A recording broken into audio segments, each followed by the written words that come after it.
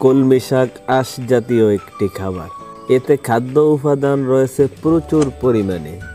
এটি চোখ ভালো রাখে, হজমে সাহায্য করে এবং রক্তে হিমোগ্লোবিনের অনুপাত ঠিক রাখে। ভর্তা কিংবা বাজি করে তরকারি হিসেবে খাওয়া হয় এই কলমি শাক কলমি শাকে রয়েছে অনেক ঔষধি গুণ। প্রতি একশো গ্রাম কলমি শাকের পুষ্টিমান। প্রতি একশো গ্রাম কলমি শাকে পাওয়া যায় উনত্রিশ কিলো ক্যালোরি সোডিয়াম একশো তেরো মিলিগ্রাম, পটাশিয়াম তিনশো বারো মিলিগ্রাম, খাদ্য আঁশ দুই দশমিক এক গ্রাম, প্রোটিন তিন গ্রাম, কার্বোহাইড্রেটস পাঁচ দশমিক চার গ্রাম, ক্যালসিয়াম তিয়াত্তর মিলিগ্রাম, ফসফরাস পঞ্চাশ মিলিগ্রাম, লৌহ দুই দশমিক পাঁচ মিলিগ্রাম, জলীয় অংশ উনানব্বই দশমিক সাত গ্রাম। কলমি শাকের কিছু উপকারিতা। এক কলমি শাকে প্রচুর পরিমাণে ক্যালসিয়াম থাকে বলে এ শাক হাড় মজবুত করতে সাহায্য করে। তাই ছোটবেলা থেকেই শিশুদের কলমি শাক খাওয়ালে তাদের আর বাজারের প্রচলিত চটকদার ফুড সাপ্লিমেন্টের দরকার হয় না। দুই কলমি শাকে রয়েছে প্রচুর পরিমাণে ভিটামিন সি। এটি অ্যান্টিঅক্সিডেন্ট হিসেবে কাজ করে এবং শরীরের বিভিন্ন রোগ প্রতিরোধ করে। তিন, কলমি শাক বসন্ত রোগের প্রতিষেধক হিসেবে কাজ করে। চার, পর্যাপ্ত পরিমাণে লৌহ থাকায় এই শাক রক্ত শূন্যতার রোগীদের জন্য দারুণ উপকারী। পাঁচ, জন্মের পর শিশু মায়ের বুকের দুধ না পেলে মাকে কলমি শাক রান্না করে খাওয়ালে শিশু পর্যাপ্ত পরিমাণে দুধ পাবে। ছয়, নিয়মিত কলমি শাক খেলে কোষ্ঠকাঠিন্য দূর হয়।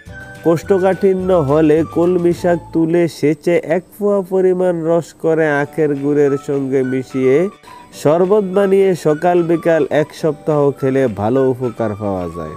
সাত, যদি কারও ফোড়া হয়, এই কলমি পাতা তুলে একটু আদা সহ পাটায় বেটে ফোড়ার চারপাশে লেপ দিয়ে মাঝখানে খালি রাখতে হবে। তিন দিন এইভাবে লেপ দিলে ফোড়া গলে যাবে এবং পুষ বেরিয়ে শুকিয়ে যাবে।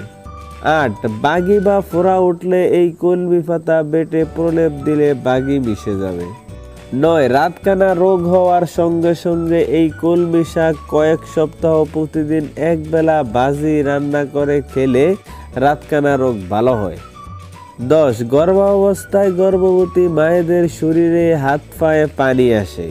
সেই সময় কলমি শাক বেশি করে রসুন দিয়ে বেজে তিন সপ্তাহ খেলে পানি কমে যাবে। এগারো, গনেরিয়া রোগ হলে প্রসাবের জায়গায় জ্বালা যন্ত্রণা হয়। সেই সময় কলমির রস তিন থেকে চার চামচ পরিমাণ তিন সপ্তাহ খেলে ওই জ্বালা কমে যায়।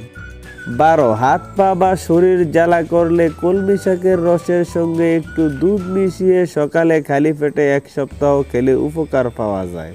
তেরো, পিঁপড়া, মৌমাছি, বিছা বা কোনো পোকামাকড় কামড়ালে এই কলমি শাকের পাতার ডগা সহ রস করে লাগালে যন্ত্রণা কমে যায়। চোদ্দ, আমাশয় হলে কলমি পাতার রসের সঙ্গে আখের গুড় মিশিয়ে শরবত বানিয়ে সকাল বিকাল নিয়মিত খেলে আমাশয় উপশম হয়। পনেরো, কলমি শাক চোখের জন্য বিশেষ উপকারী। কলমি শাক দৃষ্টিশক্তি প্রখর করে। ষোলো কলমি শাকে পর্যাপ্ত পরিমাণে খাদ্য শক্তি থাকায় শারীরিক দুর্বলতা দ্রুত সারিয়ে তুলতে সাহায্য করে। রোগীদেরকে দ্রুত সুস্থ হবার জন্য তাই কলমি শাক খাওয়ানো হয়ে থাকে। সতেরো কলমি শাক মূলত আঁশ জাতীয় খাবার, তাই শরীরের খাবার দ্রুত হজমের জন্য কলমি শাক বিশেষ উপকারী। আঠারো, কলমি শাকে পর্যাপ্ত পরিমাণে লৌহ থাকায় এই শাক রক্ত শূন্যতার রোগীদের জন্য দারুণ উপকারী। সারা দেহে প্রয়োজনীয় রক্ত সরবরাহ ঠিক রাখতেও এই শাক গুরুত্বপূর্ণ ভূমিকা রাখে। উনিশ, মহিলাদের বিভিন্ন শরীরবৃত্তীয় সমস্যায় দ্রুত কাজ করে কলমি শাক। বিশ, ঋতুস্রাবের সমস্যা দূরীকরণে কলমি শাক উপকারী ভূমিকা পালন করে। একুশ, নিয়মিত কলমি শাক খেলে হজম শক্তি বৃদ্ধি পায় এবং কোষ্ঠকাঠিন্য দূর হয়। কোষ্ঠকাঠিন্য হলে কলমি শাকের সঙ্গে আখের গুড় মিশিয়ে শরবত বানিয়ে সকাল বিকাল এক সপ্তাহ খেলে ভালো উপকার পাওয়া যায়।